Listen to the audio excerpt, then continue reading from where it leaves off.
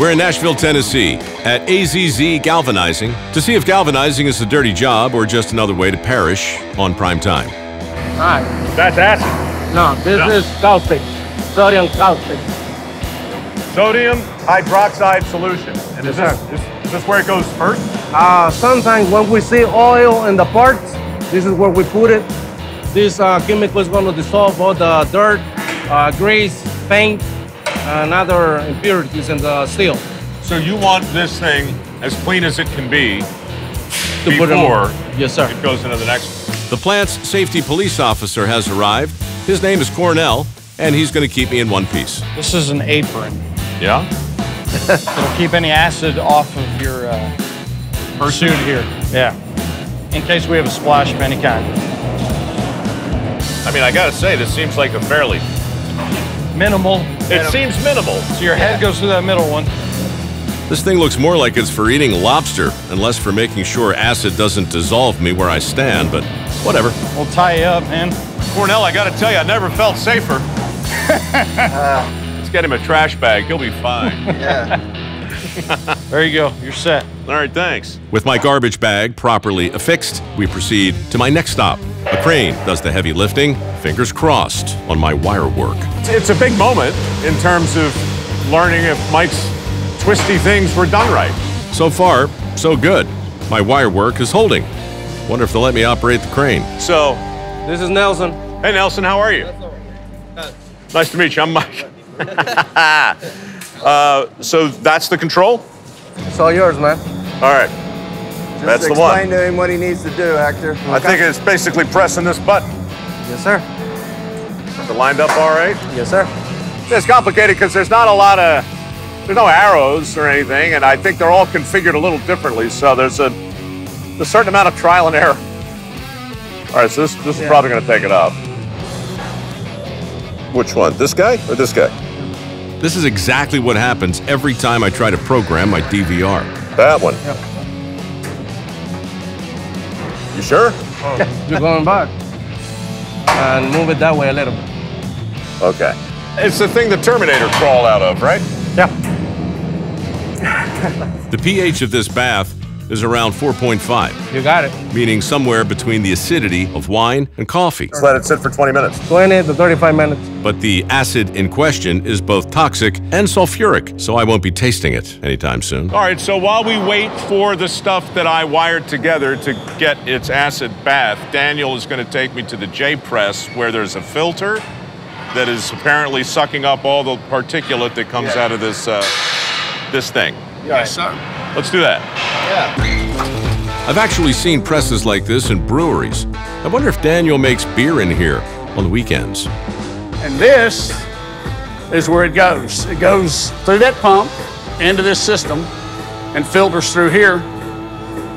And each one of these plates Yeah. has that particulate in it. So what we're going to do is we're going to open the machine up, Uh huh. and then we're going to pull these plates back, and we're going to clean them and dump them into these bins.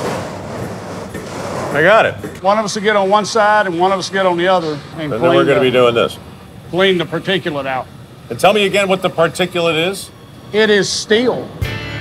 It is little bits of steel that have been floating around in that zinc ammonium chloride solution. All right, so to recap, you're going to go on that side. I'm going to go on this side. We're going to take these filters one at a time. We're going to pull them at a forward, time, and then we're going to and then we're going to dig the mud out of them. Let's do it, man. I can't wait. It's and by fun. mud, you mean scraps of uh, metal. Well, Steel. they they actually call it filter cake. More like mud. Look, yeah. Anytime somebody calls something cake that doesn't come out of an oven, Right. they're selling something. or They're lying to selling you, something or they're lying Yeah, to you. yeah.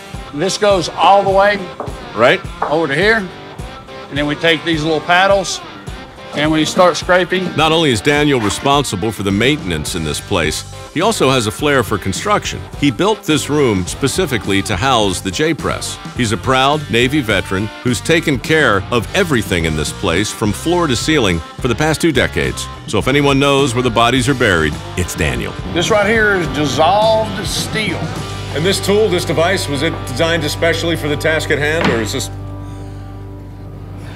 This is a boat paddle.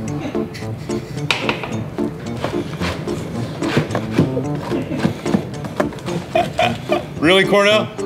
You were, you're in a billion dollar operation here and you give the man a boat paddle? Whatever works. That's exactly right. Actually, this works better than that one. That's the one that comes with it. Yeah. That's the one that actually came with the machine. I tell you, man, every time I think I, I got a handle on what's going on. Here, let me see that thing for a sec. This is how Daniel's brain works, right? This is the thing that came with the machine. It's okay. I mean, it gets it done.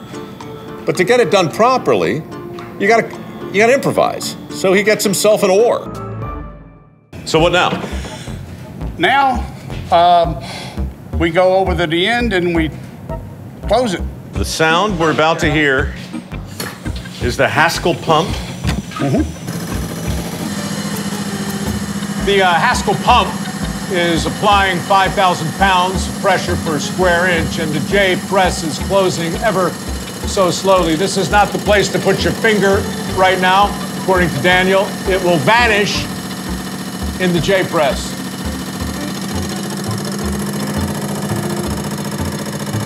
Next step dunk the parts in a 160 degree preflux bath. The preflux will prevent oxidation from leaving bare spots on the finished product. You grab that one, I grab this one. Zinc melts at 787 degrees, but the zinc bath in this plant is even hotter than that, which makes it one of the most hazardous spots in a plant full of hazardous spots. And this is the zinc melted. Time now to clean the surface of the molten zinc. How does one clean ash out of an 850 degree swimming pool? We're gonna Sink. show you in a minute. You're gonna come to the site, pick them up, I let them drain a little bit, and put it right there. See all the zinc coming out? I do.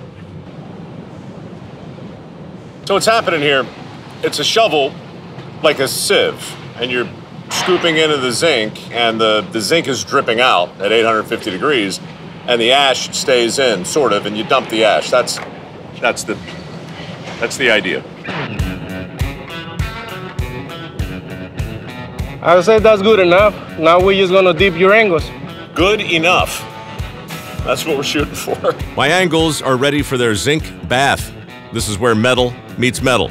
It'll get coated with a layer of zinc 35 to 200 microns thick, roughly the thickness of a human hair. That thin coating will add between 4 and 8% to the standard weight of the item being galvanized, and decades of additional life. All right, we're good to go. How long does it stay in? About five minutes or less. You use your hook right here. Yep. You just keep pulling.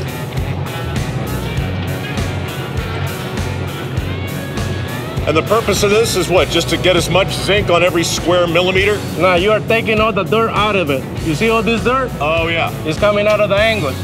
So the more you shake, the cleaner they're gonna come out. The last thing I want are dirty angles. Once the items are coated with zinc, they're protected from the effects of corrosion. And we're gonna clean them, have them ready for the customer and ship them. Right now we have to cut them, Got to cut the. the the wires. I'm going to enjoy that. The wires have done their job admirably. Now it's time to get rid of them. This is going to cool for two, three hours, Uh-huh. and then what's going to happen? Somebody's going to pick it up, stack it, ship it. Yes, sir. I think it goes without saying that when you dip something into molten zinc, it's not going to come out perfect. That's where the cleaning comes in. Everything that comes out of that zinc pond is going to have these little icicles on it like this. Yep. So every single piece has to be laid out here and hand grinded by these guys. Yes, sir. This is kind of like at the end of a haircut when the barber sweeps your neck or buzzes off the now noticeable hair growing out of your ears. This, this is the object of my attack right now. All this stuff, it's just covered with these little, what do you call it, little zinc boogers, right? They're everywhere. There are hundreds of thousands of them. And it's, they, they've just got to go. They've all got to go. Starting with this one.